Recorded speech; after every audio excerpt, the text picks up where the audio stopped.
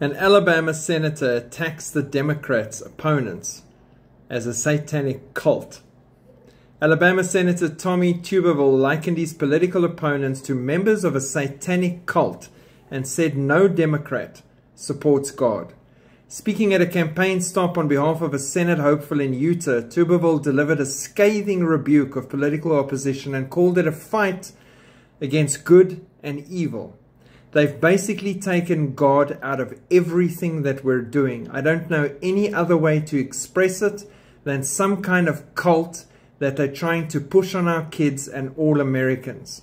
We have got to get back to our moral values. If we can't get back to that and let the Democrats continue to push this cult on us and take God away from our country, we are going to have huge problems.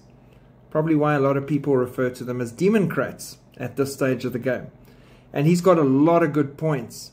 The main aim at the moment is to remove God, not just from America, from all systems of government. To remove him, excise him completely, and anything to do with God. And that would include Jews and Christians, and that would include Israel.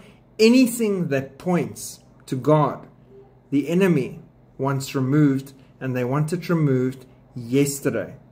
So, no, I'm not pushing Republicans over Democrats or this party over that party, not even in my own country.